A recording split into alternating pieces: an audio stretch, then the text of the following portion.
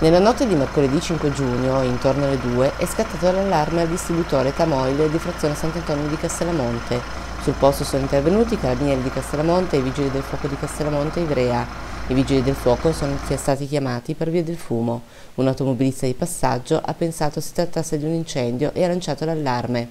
Giunti sul posto hanno invece visto che i ladri, per inibire le videocamere di sorveglianza, avevano utilizzato gli estintori causando così il fumo. Indagini in corso.